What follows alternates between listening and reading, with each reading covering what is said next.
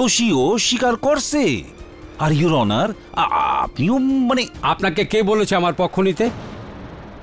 Mister KD এখন আপনি যদি আর একটা শব্দ ওনার পক্ষে বলেন this will be a contempt of court ঠিক আছে ইউর অনার। যদি পরিস্থিতিটা এরকম হয় তো মিস্টার সুধীর যোশীর মতোই আমিও আর কিছু বলতে চাই না। সিদ্ধান্ত তো আপনি লিখেই ফেলেছেন। শুনিও দিন।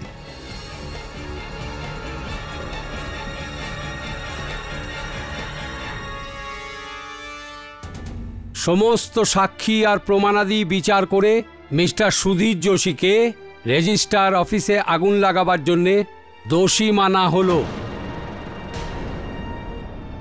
আর তেরো জনকে হত্যা করার জন্য ভারতীয় আইন অনুযায়ী তিনশো দুই নম্বর ধারায় ওনাকে ফাঁসির আদেশ দেওয়া হলো। And case is closed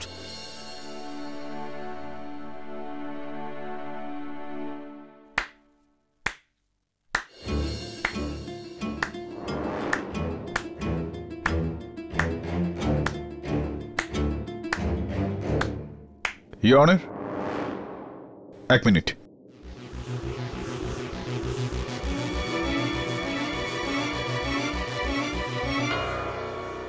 honour কেসটা সমাপ্ত হয়ে গিয়েছে, আপনি সিদ্ধান্ত শুনিয়ে দিয়েছেন। প্রসিকিউশন মানে রাষ্ট্র জিতে গিয়েছে। এইবার আমি আর এই কাগজগুলোর বন্ধনে তো নেই।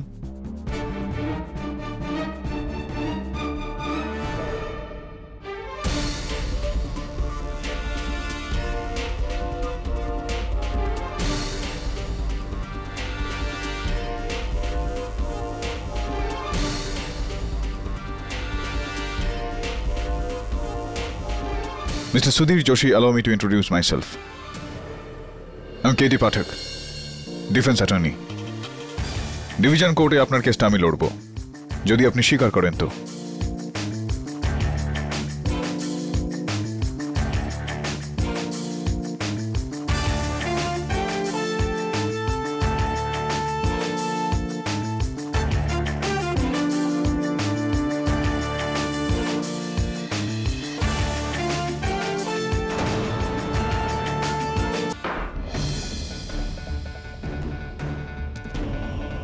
কিছু করুন, সরি সাহেব।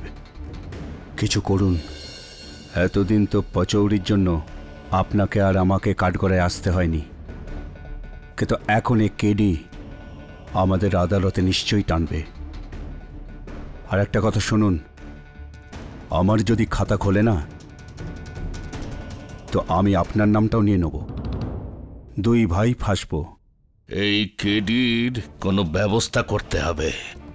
সাপের গর্তে হাত দিয়েছে ও। এমন বিষ চড়িয়ে দেব যে সারা জীবন ধরে সেই বিষ নামাতে পারবে না। আরে কি হয়েছে ভজনলাল? খাবার খাচ্ছিস না কেন? এই বেটা কেডি পাঠক না। একটা হরিশ্চন্দ্র কি কম পড়ছিল পৃথিবীতে? যে আরেকটা চলে এলো? কিছু তো একটা করতেই হবে।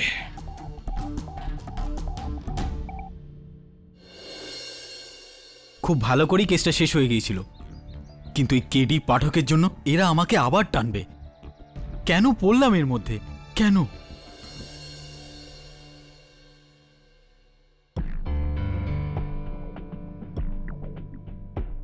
Hello, Varde sir. স্যার, আমি নাটরাজন। এক মাসের আর্জেন্ট লিভ চাই, স্যার। ও, চেন্নাইতে মাদার সিরিয়াস। আমাকে আর্জেন্ট যেতে হবে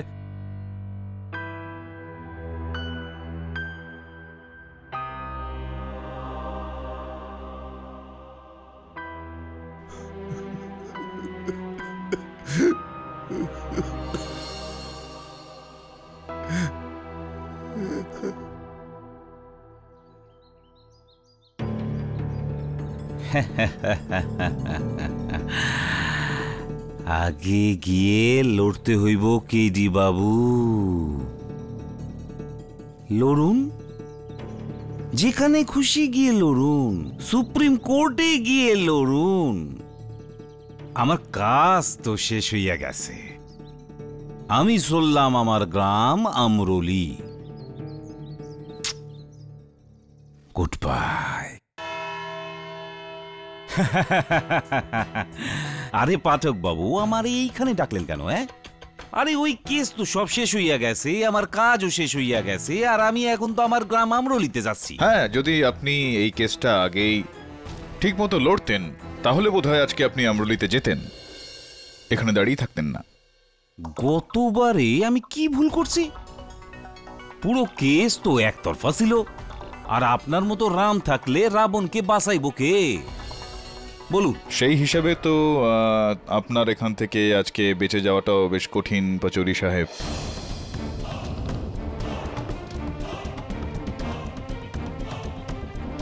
বুঝলাম না। বুঝিয়ে বলছি তো। এই দেখুন। রেজিস্ট্রি আপনার নামের আমরলিতে যেই জমির অংশ আপনি কিনেছেন দুদিন আগেই রেজিস্ট্রি হয়েছে এটার। হ্যাঁ তো চাষবাসের জন্য রিটায়ারমেন্ট প্ল্যান ভালো বেশ ইনভেস্টমেন্টটাও বেশ ভালো। তো কত টাকা দিয়েছেন আপনি এটার জন্য? সাড়ে বারো লাখ টাকা। সাড়ে তিন লাখ টাকা। কেন মিথ্যা কথা বলছেন আপনি? শ্যামলাল বিস্ত বাবু যার কাছ থেকে আপনি এই জমিটা কিনেছেন ওনার লিখিত বয়ান জজ সাহেবের টেবিলের ওপর রাখা হয়েছে যেখানে স্পষ্টত লেখা আছে যে আপনি সাড়ে বারো লক্ষ টাকার নগদ ক্যাশ দিয়ে এই জমিটা ওনার থেকে কিনেছিলেন।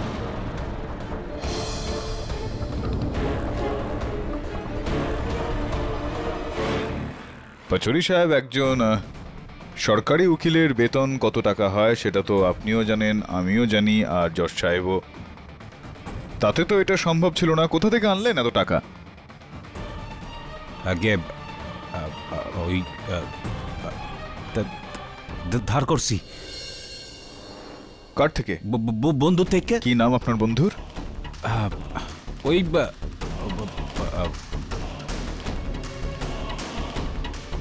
পঙ্কজ পঞ্চান মিয়া ফোন করুন ওনাকে নাম্বার তো আছে আপনার কাছে। আরে ফোন করুন না ওনাকে এত হ্যাঁ। হৃদয়বান বন্ধু আপনার বারো লাখ টাকা এমনি আপনাকে দিয়ে দিলেন আর ফোন নাম্বারটা দেয়নি? মানে- আরে চলুন ফোন করুন বার করুন ফোন কোথায় ফোন? আরে বার করুন বার করুন ফোনটা ফোন করুন ফোন করুন তো। পঙ্কজ পঞ্চমী আমি নাম্বারটা বের করে দেবো আপনাকে? না। হ্যাঁ, এই নিন পেয়েছি ডায়াল করে দিয়েছি ডায়াল করে দিয়েছি। কথা বলুন কথা বলুন কথা বলুন। ধন্যবাদ জানান টাকা দেওয়ার জন্য।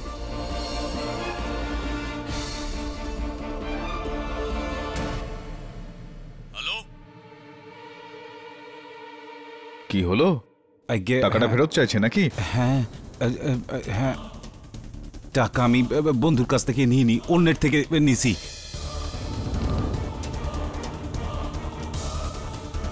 আচ্ছা অন্য কারোর কাছ থেকে নিয়েছিলেন? কার থেকে নিয়েছিলেন?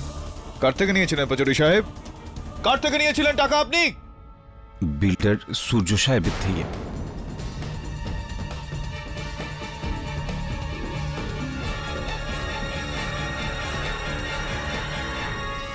বিল্ডার সুরি সাহেবের থেকে? কেন কেন এক এক এক এক এক, একজন বিল্ডার একজন সরকারি উকিলকে সাড়ে বারো লাখ টাকা দিয়ে দিল কেন? বুঝতে পারলাম না। পাচুরি সাহেব যে আপনার উপর অভিযোগটা আনলেন, সেটাতে আসব। সেটার আগে আমি এটা বলতে চাইব যে অ্যান্টি করাপশন ব্যুরো আপনার বিরুদ্ধে বেশ কিছু তদন্ত চালাচ্ছে। তো এখন তো এটার বিষয়ে বাধা চলে আসলো। ভালো হয়ে গেল আপনার জন্য মানে। কীরকম বাধা? বাধা সেটাই। আগুন। কুর্লা রেজিস্টার অফিসে যেটা লেগেছিল।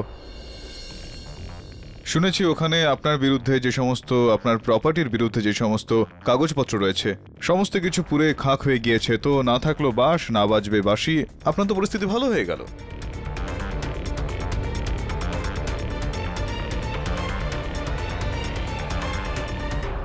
কিন্তু আগুন তো ওই লোকটা লাগিয়েছে। এই কেসের সঙ্গে আমার কোনো সম্পর্ক নেই। চলুন এটা বলুন যে আপনি পচৌরি সাহেবকে সাড়ে বারো লক্ষ টাকা কেন দিয়েছিলেন? কে বলেছে? আরে আমি ওকে চিনি না পর্যন্ত। আমি ওকে একটা ঢেলাও দেইনি। কমন মিস্টার সুরি আপনি পাচৌরি সাহেবকে সাড়ে বারো লক্ষ টাকা দিয়েছিলেন যাতে উনি কেসটা হেরে যায় আর আপনার লাগিয়ে দেওয়া আগুনের ওই অভিযোগে সুধীর যোশী ফেসে যান। করেছেন কি না আপনি এরকম?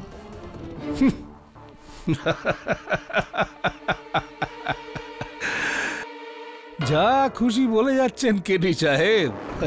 মানে আপনি বলতে চাইছেন যে ওই আগুন লাগিয়ে আমি লোকজনকে মারিয়েছি হ্যাঁ? হ্যাঁ কেডি সাহেব। আমি আইন খুব ভালোভাবে জানি এবং পড়েছি। বিনা প্রমাণে একটা দোষও আপনি আমার ওপর চাপাতে পারেন না। মিস্টার পাঠক আপনি তো খুব তাড়াতাড়ি রং বদলাচ্ছেন। ভুলে গেছেন যে আপনি মিস্টার যোশীর বিরুদ্ধে প্রমাণ আর সাক্ষীর একটা লম্বা লিস্ট বানিয়েছিলেন। যার জন্য ফাঁসির দড়ি থেকে বাঁচবেন না উনি। ফাঁদ তো আমার। এই কেসটার দিকে তাকালে নজরে আসছে দুবার sir. Please take a seat allow me to explain হ্যাঁ স্যার। আমি মিস্টার যোশীর হাত থেকে ওই লাইটারটা পড়তে দেখেছিলাম।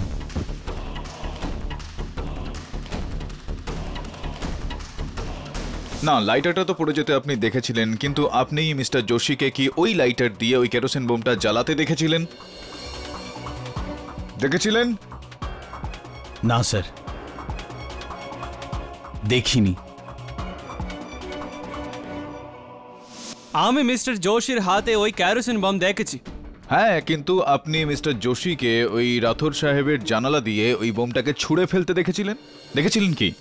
ছুটতে দেখেছিলেন কি আপনি? নো বাট স্যার দেখেছিলেন কি দেখেননি? দেখিনি স্যার দেখেননি? তো হতে পারে এটা যে অন্য কেউ অন্য বোম ফেলেছিল? মিস্টার রাথোরের জানালা দিয়ে হতে পারে কি না? দুজন লোক। দুটো বোমা। তাহলে মিস্টার যোশীর হাতে যে বোতলটা ছিল সেটা কোথায় গেল? স্যার ওই বোতলটা আমি ওখানে ঝোপের মধ্যে ফেলে দিয়েছিলাম। মিথ্যে! পুলিশ ঝোপে কোনো বোতল পায়নি ইওর অনার।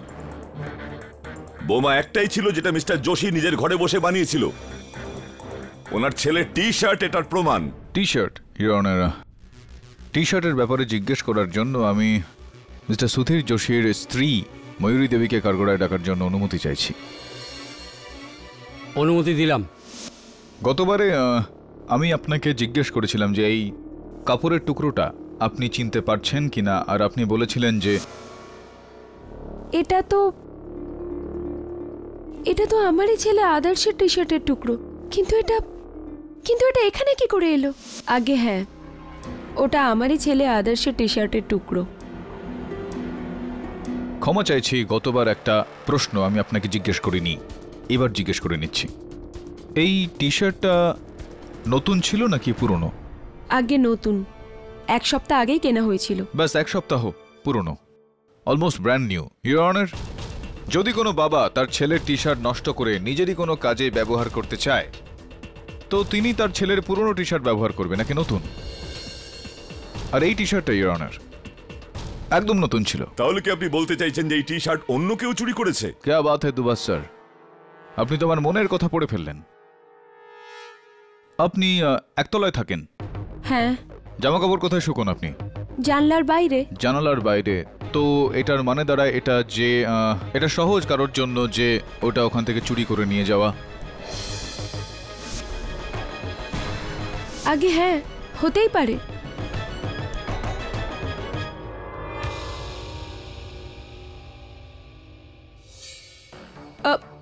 ওই ব্যাগটা ওই টি শার্ট আমি একই দিনে ধুয়েছিলাম আর ওগুলো উধাও হয়ে গিয়েছিল।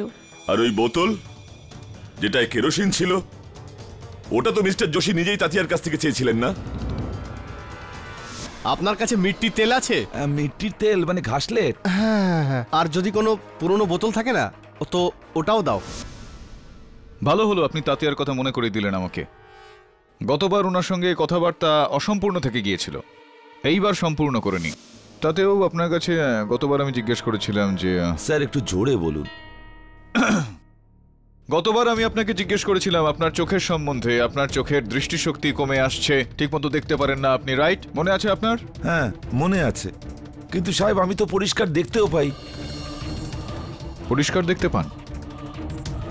না তাতিয়া বাবু আপনি তো পরিষ্কার দেখতে পারেন না বরং অন্ধকারে আপনি কিছুই দেখতে পারেন না এবং সেই কারণে ওই রাতে যেই ব্যক্তি কেরোসিন তেলের বোতল চাইতে এসেছিল আপনার কাছে আপনি সুধীর যোশী ভেবে তাকে ভুল বোঝেন। সাহেব আপনি কে বলুন তো?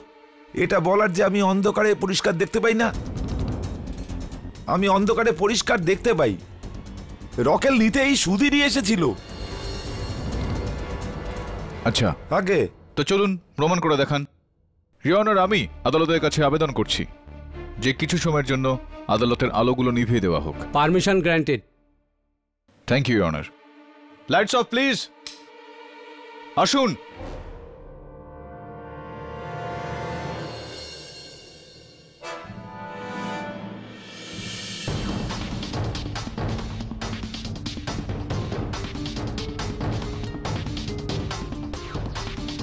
তাতিয়া? কে? আরে ভাই আমি মনোহর সিন্ধে তোর ওপরের ফ্লাইটেই তো থাকি। মিথ্যে।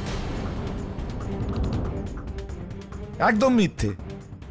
আমি তোমায় চিনে ফেলেছি। তুমি মনোহর সিন্ধে নও। তো? তুমি হলে সেই পুলিশ ইন্সপেক্টর যে সুধীরকে গ্রেপ্তার করেছিল। আমি তোমার চেহারা পরিষ্কার দেখতে পাচ্ছি। তুমি হলে inspector Dave.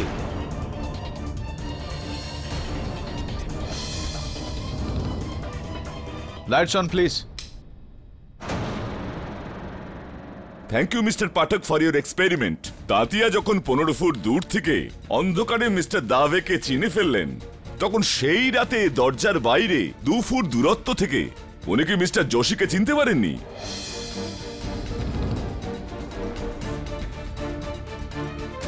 আপনি তো অন্ধকারে দেখতে পেতেন না না এখন কি করে দেখতে পাচ্ছেন?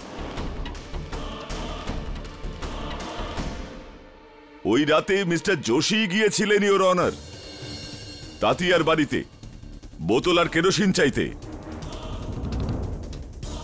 আর উনি তাতিয়াকে এই কথাটা নিজের স্ত্রীর কাছ থেকে লুকোতে বলেছিলেন। কারণ ওনার মনে পাপ ছিল। বলুন, মিস্টার যোশী।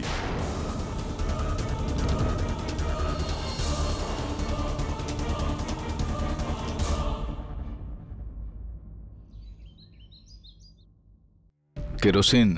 ওই রাত্রে মাত্র তিন ফুট দূর থেকে? তাতি আমাকে চিনতে পারেনি। মাত্র তিন ফুট। কাসলেট। আর কাল হঠাৎ ওর চোখ এত ভালো হয়ে গেল যে ও অত দূর থেকে ইন্সপেক্টর দাফের ব্যাজ পড়ে নিল। রকেল। এটা কি করে হতে পারে?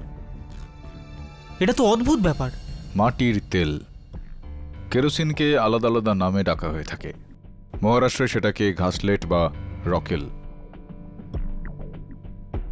বলুন। ওই রাতে যে ব্যক্তি তাতিয়ার কাছে গিয়েছিল। আপনার কাছে মিট্টির তেল আছে? মেটির তেল মানে ঘাসলেট। উনি মাটির তেল চেয়েছিল যেখানে তাতিয়া আর সুধীর যোশী দুজনেই মহারাষ্ট্রের লোক। তো ঘাসলেট বা রকেল কেন বলল না? মাটির তেল কেন বলল? এই শব্দের প্রয়োগটা কেন করল? সঠিক বুঝলাম না। এর মানে এই হলো যে যেই ব্যক্তি সুধীর যোশী সেজে ওখানে গিয়েছিল সে মারাঠি নয়। Accountant Natarajan builder Suri manager Rathod বা সাক্ষী শাস্ত্রী এদের মধ্যে যে কেউ হতে পারে। Anything is possible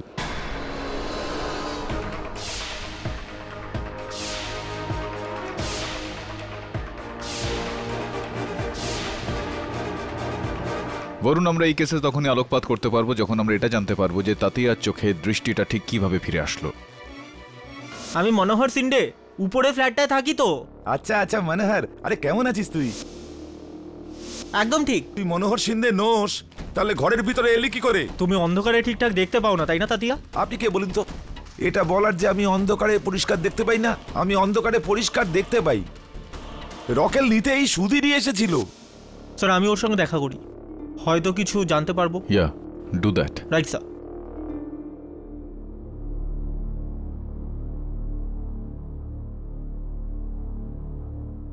mister Natarajan mister Natarajan কি আছে আপনার ফাইলে কি বলছে আপনার ফাইল নটরাজন তোমায় কে বলল যে আমার চোখ আগে ঠিক ছিল না? আমার চোখ তো আগের থেকেই ঠিক ছিল। না তাতিয়া তোমার চোখ আগে ঠিক ছিল না। তুমি এক রাতে ক্যাটার অপারেশন করিয়েছো। এটা তুমি জানলে কি করে? এটা মোটা কালো চশমা। এই আই ড্রপস যা অপারেশনের পরে চোখে দেওয়া হয়। বলো তাতিয়া। সত্যি বলো। হ্যাঁ আমি তিন দিন আগেই চোখের অপারেশন করিয়েছি। এই কথাটা আদালতে বলনি কেন? বলতে পারব না। যিনি আমার আমার এই অপারেশনটা করিয়েছেন।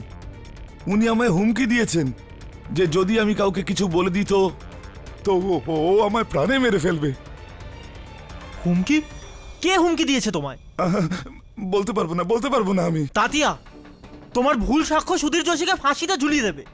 তাতিয়া তাতিয়া আমার কথা শোনো। তাতিয়া ওর স্ত্রী আছে।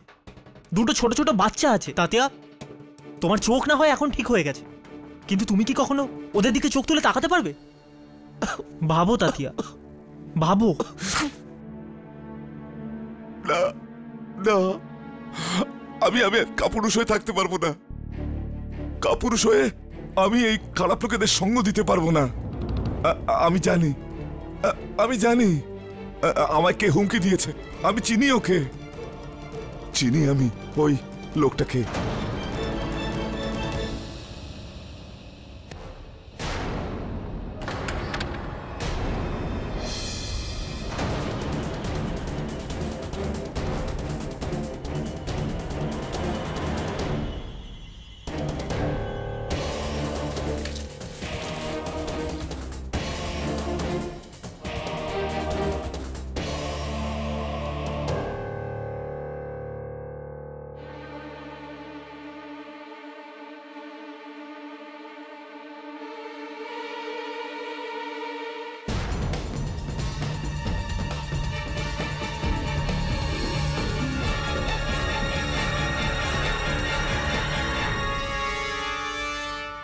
স্বীকার করে নিন বচন সিং বাবু যে আপনি আমার অফিসে কেরোসিন বোম ফেলেছিলেন।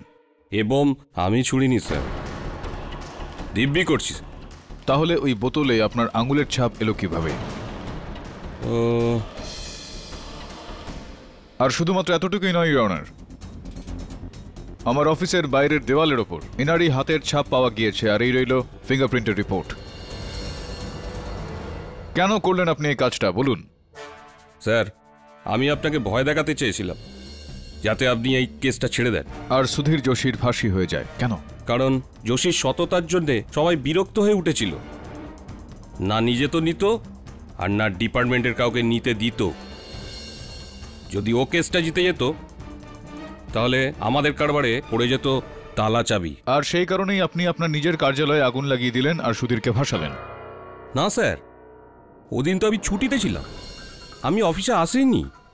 আমি লাগাইনি ওই আগুন। কিন্তু আহ, তাতিয়ার ঘরে তো তুমিই গিয়েছিলে ওই কেরোসিনের বোতলটা নিতে। না স্যার।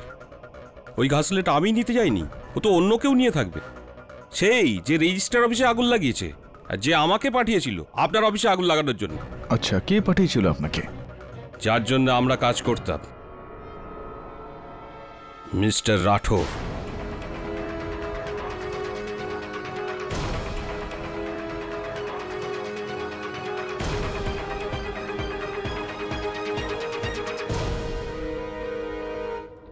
মিথ্যে বলছে এই নেমো খারাম স্যার আমি ওকে পাঠাইনি আপনার অফিসে। মিস্টার রাথোর তাহলে কি তাতিয়াও মিথ্যা কথা বলছে? তাতিয়া? হ্যাঁ স্যার। এটাই সেই লোক যে ওদিন কোর্টের পর আমার বাড়িতে এসেছিল।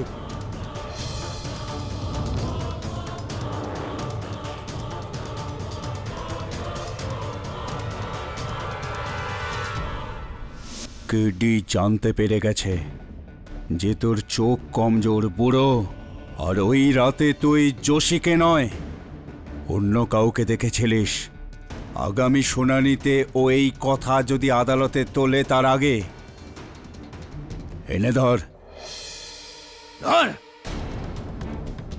আজ রাতেই তোর চোখ অপারেশন করে ঠিক করিয়ে দেব। কিন্তু আর শোন এই প্রসঙ্গটা যদি তুই কারোর সামনে তুলেছিস তাহলে তোকে এখানে এসেই মারব। প্রাণে, আদালতে আমি কেডিকে ভুল প্রমাণ করতে চাই। বুঝেছিস? আরে দেখছিস কি? তোর জন্য আমি এই যোশীকে ফাঁসাতে পারব না। যা যা করার না করে নিস। সুধীর বাবা। আমায় আমায় ক্ষমা করে দিস সুধীর বাবা। আমি তাতিয়াকে হুমকি দিই আর ভজন সিংকে ওই বোম নিয়ে আপনার অফিসে ফেলতে বলেছি।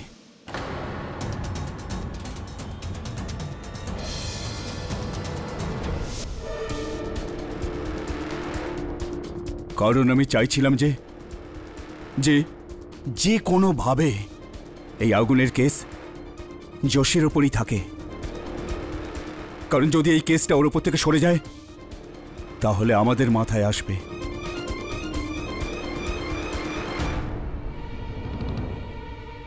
সরিয়া বিল্ডারের সাথে কোটি টাকার তছরূপ করেছি। ওই কথা? এটা তো শুধুমাত্র অর্ধেক সত্য হলো মিস্টার রাথোর। পুরো সত্যটা হলো যে ওই আগুনটা আপনিই লাগিয়েছিলেন। না স্যার। হইয়া আগুন আমি লাগাইনি। আমি তো আমি তো অফিসেই ছিলাম না। আমার আপনার ওপর সন্দেহটা এই কারণে হচ্ছে। কেননা আপনি প্রথমে ফোন করে সুধীরকে ওখানে একটার সময় ডেকেছিলেন আর তারপর আপনি হঠাৎই লাঞ্চ করতে চলে গেলেন। যখন আপনার দফতরে আগুন লাগল তখন প্রত্যেকে ওখানে উপস্থিত ছিল। আপনি ছিলেন না ওখানে। কেননা আপনি জানতেন যে ওখানে আগুন লাগার কথা আর সুধীরকে আপনি সে কারণে ডেকেছিলেন যাতে ও আগুন লাগানোর এই অভিযোগে একেবারে ফেসে যায়। তুই এক কাজ কর অফিসে আয় আমি তোকে বুঝিয়ে দিচ্ছি। একটার সময় আয়। ঠিক আছে আসছি।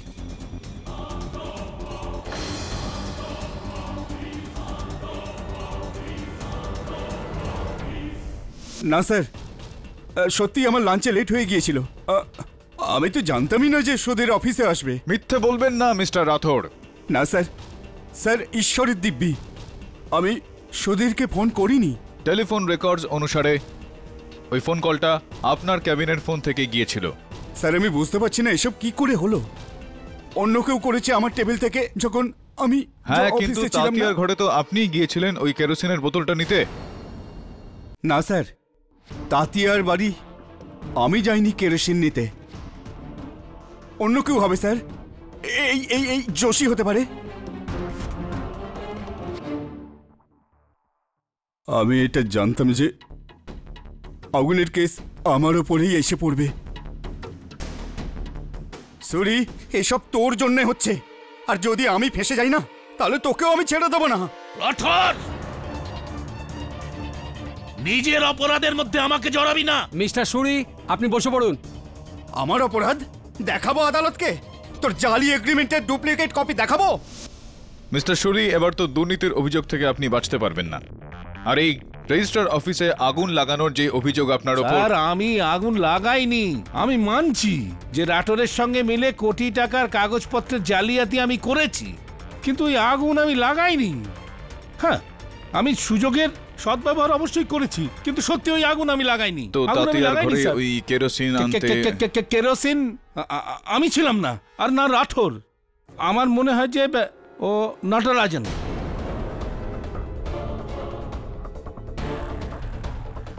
আচ্ছা কেন এরকম মনে হয় আপনার?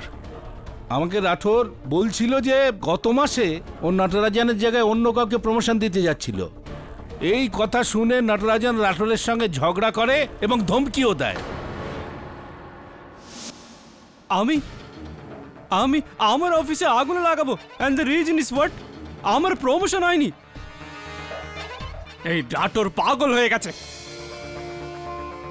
যোশী তুই ওর ওপর বম ফেলে খুব ভালো কাজ করেছিস। ঠিক করেছিস। এই ধরনের লোকের সাথে এরকমই হওয়া উচিত। নটরাজন যতটা জিজ্ঞেস করা হচ্ছে ততটাই বলুন।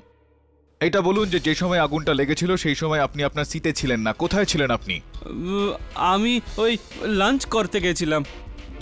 লাঞ্চ করতে গিয়েছিলেন? লাঞ্চ তো আপনি বাড়ি থেকে নিয়ে আসেন আর রোজ আপনার টেবিলেই লাঞ্চ করে থাকেন। কিন্তু যেদিন আগুন লাগার কথা ছিল সেই দিনে আপনি আপনার টেবিলে ছিলেন না। কেন?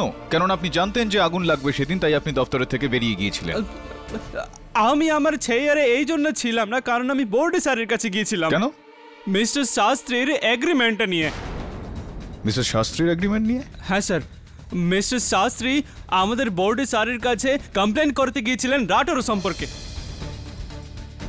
ঘুষ চাওয়ার কমপ্লেন আর আমি উইটনেস হয়ে গিয়েছিলাম ওনার সাথে। এইবার আমি বুঝতে পারছি আপনার অফিস পলিটিক্স কোথাও এরকমটা নয় তো যে রাথোর সাহেবের ওপর প্রতিশোধ নেওয়ার জন্য আপনি আপনার দপ্তরে আগুন লাগিয়ে দিলেন তাতিয়ার ঘর থেকে ওই বোতল আর কি ছিল ওই বোতলে? কেরোসিন? আরে নো নো আমি আগুন লাগাইনি স্যার। আপনার কথা ভুল হচ্ছে? আমি তো বোর্ডে স্যারের কাছে ছিলাম স্যার। আর আপনি শাস্ত্রী স্যারের কাছে জিজ্ঞেস করে দেখুন ও সকাল থেকে আমাদের অফিসেই ছিল। আমি আগুন লাগাইনি স্যার।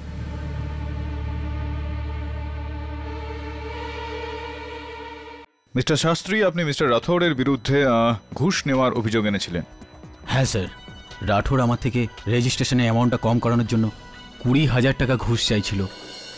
এই জন্য আমি মিস্টার নটরাজনকে সাক্ষী রেখে ওনার বসের সামনে কমপ্লেন করতে বলেছিলাম। আসলে রেজিস্ট্রেশন অফিসে আমি এই জন্যই গিয়েছিলাম আর আচমকাই যোশীর সঙ্গে ধাক্কা লাগে। রাইট আর আপনি বলেছিলেন যে আপনি ওনার হাতে শুধুমাত্র লাইটার দেখেছিলেন। আর কিছু ছিল না ওনার হাতে। না আর কিছু ছিল না। কিন্তু আপনি তো এটা প্রমাণ করে দিয়েছিলেন যে মিস্টার যোশীর হাতে লাইটারের সাথে একটা মিট্টির তেল ভরা বোতলও ছিল। এক্সকিউজ মি কি ভর্তি বোতল? মিট্টির তেলে রাইট মিস্টার শাস্ত্রী নটরাজন সাহেবের বক্তব্য হলো যে আপনি সকাল থেকেই ওখানে ছিলেন রেজিস্টার অফিসে কোথায় বসেছিলেন আপনি মিস্টার রাথোডের টেবিলে হ্যাঁ স্যার তাহলে তো টেবিলে রাখা ওই ফোনটা আপনার হাতের খুবই কাছে ছিল আগে তো এটার অর্থ এটা হয় যে আপনি সুধীর যোশীকে ফোন করে ওখানে ডেকেছিলেন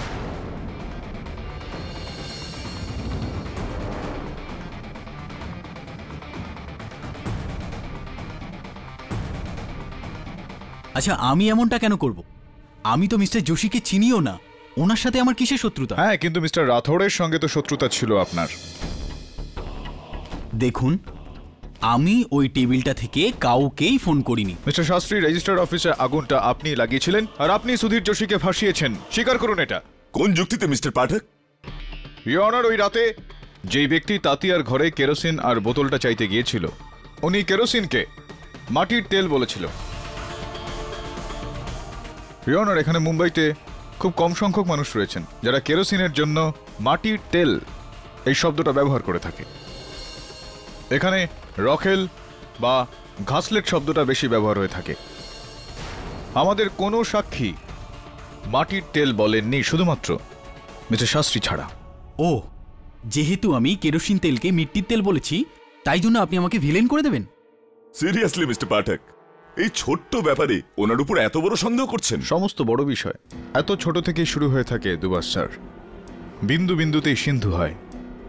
মিস্টার শাস্ত্রী সেই ব্যক্তি যে তাতিয়ার ঘরে গিয়েছিল। দিস ইজ ক্রেজি আমি মিস্টার যোশীকেই চিনি না তো তাতিয়াকে কোথা থেকে চিনবো? না আমি ওই বিল্ডিংয়ে গিয়েছিলাম আর না ওনার বাড়িতে। মিস্টার শাস্ত্রী আপনি তাতিয়া রাওয়ের ঘরে কেরোসিনের বোতল নিতে গিয়েছিলেন। আপনাকে ওখানে কেউ দেখেছে। মিস্টার সুধীর যোশীর ছেলে আমাদের বলেছে যে আপনিই ছিলেন।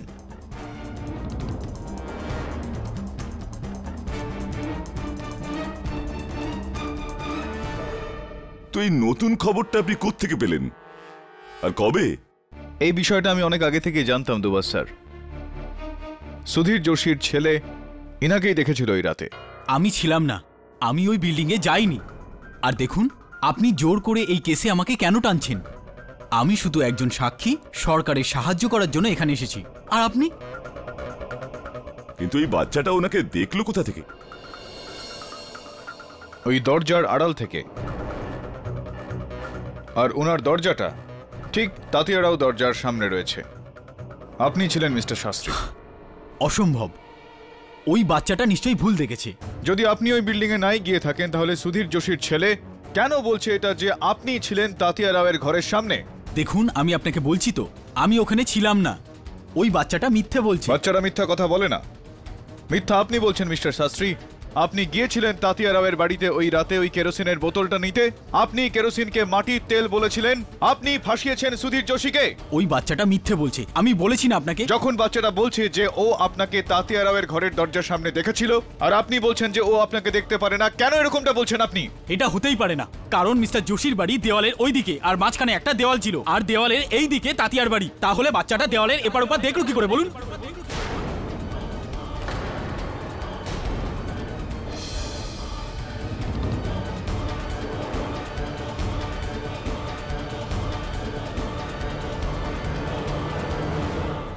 ঠিক বলেছেন আপনি, মিস্টার শাস্ত্রী। কেউই দেওয়ালের এদিক ওদিক দেখতে পারে না। কিন্তু এই যে দেওয়ালটা আপনি এই কেসটার সামনে দাঁড় করিয়েছিলেন, সেটার এদিক ওদিক এবার আদালত সাফ সাফ দেখতে পাচ্ছে। দয়া করে আদালতকে বলুন যে যখন আপনি তাতিয়া রাওকে চিনতেনই না, সুধীর যোশীকে চিনতেনই না, ওনার বিল্ডিংয়ে কখনো জানিনি তো আপনি জানলেন কি করে যে সুধীর যোশীর ঘর করিডরের কোনার দিকে? আর ওর দরজা আর তাতিয়া রাও দরজার মাঝখানে দেওয়াল রয়েছে।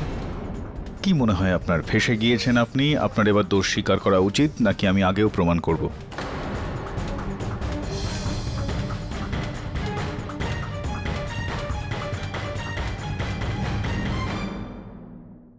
অনেক দিন আগেই যখন আমি মিস্টার রাঠোরের অফিসে বসেছিলাম, আমার ফ্ল্যাটের রেজিস্ট্রির জন্য, উনি আমার উপরে দরকারের থেকে বেশি ট্যাক্স চাপিয়েছিলেন। যখন আমি দিতে অস্বীকার করলাম, তখন উনি আমাকে অপমান করলেন। ওই সময়ই মিস্টার যোশী ওখানে এলেন। ওটা আমিই ছিলাম, যাকে রাঠোর অফিস থেকে বেরিয়ে যেতে বলেন।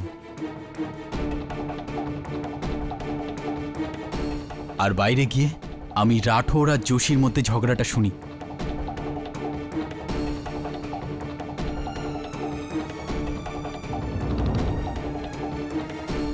তারপর যখন রাঠোর আমাকে ফোন করে ঘুষ চাইল তখন আমার মাথা গরম হয়ে যায়। দেখ ভাই তোকে যদি রেজিস্ট্রেশন আর স্ট্যাম্প ডিউটি কিছু কম করতে হয় তাহলে তোকে তো কিছু খরচ করতেই হবে। আর এখানে আমি একটা সাধারণ লোক ব্যাংক থেকে লোন নিয়ে আমার গ্রামের জমি বিক্রি করে আমার বইয়ের গয়না বন্ধক রেখে একটু একটু করে জমানোর পরে ওই রাঠোরের মতো লোকেদের হাতে শিকার হতে হয়। আর যেখানে অন্যদিকে সুরির মতো আরবপতি বিল্ডার যার একদিনের খরচা আমার সারা জীবনের ইনকামের থেকেও বেশি হতে পারে। ষাঠরের মতো লোক ওনাকে কোটি টাকার ছাড় দেয়।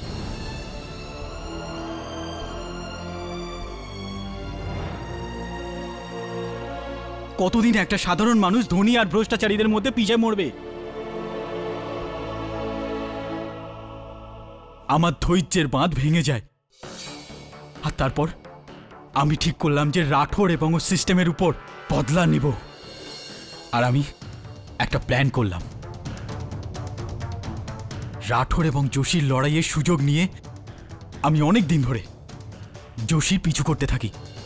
ওর বাড়ি, ওর প্রতিবেশী সম্বন্ধে তথ্য জোগাড় করি।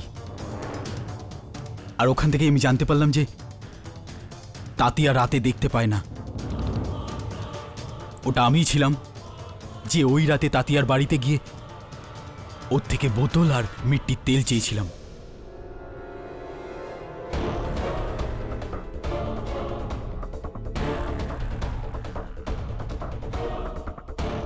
আর তখন জোশীর ব্যালকানিতে গিয়ে শুকোতে দেওয়া কাপড়ের থেকে ওই টি শার্ট আর ওই ব্যাগটা বার করি।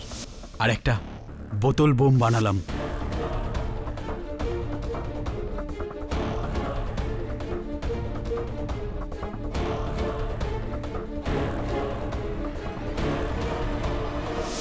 ওটা আমি ছিলাম যে রাঠোরের টেবিল থেকে ওর গলায় আমি যোশীকে ফোন করে অফিসে ডাকি।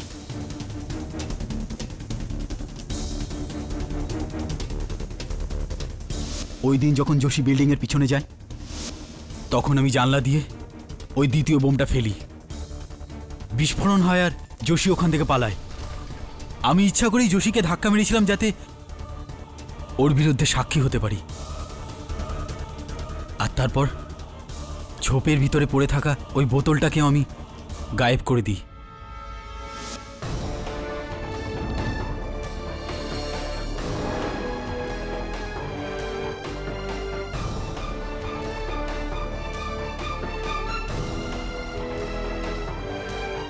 ওই আগুনটা আমিই লাগিয়েছিলাম। এটা একজন সাধারণ মানুষের প্রতিশোধ। এইটা কি ধরনের প্রতিবাদ আপনার, মিস্টার শাস্ত্রী? আপনার লাগিয়ে দেওয়া আগুনে কোনো দুর্নীতিপরায়ণ নেতা, কোনো দুর্নীতিগ্রস্ত বিল্ডার বা কর্মচারী মারা যাননি। যেই তেরো জনের প্রাণ গিয়েছে, তারা আপনারই মতো আম, সাধারণ মানুষ ছিলেন। ওনাদের মধ্যেও কেউ গ্রামে নিজের জমি বিক্রি করে এসেছিল, কেউ নিজের স্ত্রীর গয়না বন্ধক রেখে এসেছিল। তাদের ঘর ঠিকঠাক গড়ে ওঠার আগেই আপনি পুড়িয়ে দিলেন। আর ফাঁসালেনি বা কাকে? আপনারই মতো একজন সাধারণ, সৎ ব্যক্তি সুধীর যোশীকে। এটা প্রতিবাদ নয়, মিস্টার শাস্ত্রী। ঘোর অন্যায় এটা, ঘোর অন্যায়। দ্য ডিফেন্স রেস্ট ইয়নার এই আদালত mister Suri, mister Rathore, mister Bhajan সিংকে ভ্রষ্টাচারের অপরাধে গ্রেপ্তার করে এবং এদের উপর কেস চালাবার জন্য হুকুম দিচ্ছে। আর এই আদালত কুরলা রেজিস্ট্রার অফিসে আগুন লাগাবার জন্য মিস্টার অভিক শাস্ত্রীকে দোষী মানছে। ওনাকে তেরো জন লোকের মৃত্যুর জন্য দোষী মানছে, আর ধারা তিনশো দুই অনুযায়ী ওনাকে যাবজ্জীবন কারাদণ্ড দেওয়া হচ্ছে। আর মিস্টার সুধীর যোশীকে নিরপরাধ মেনে নিয়ে ওনাকে সসম্মানে মুক্তি দেওয়া হচ্ছে।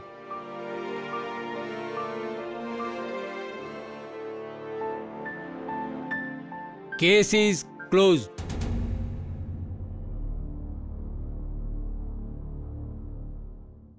অভিনন্দন সুধীর।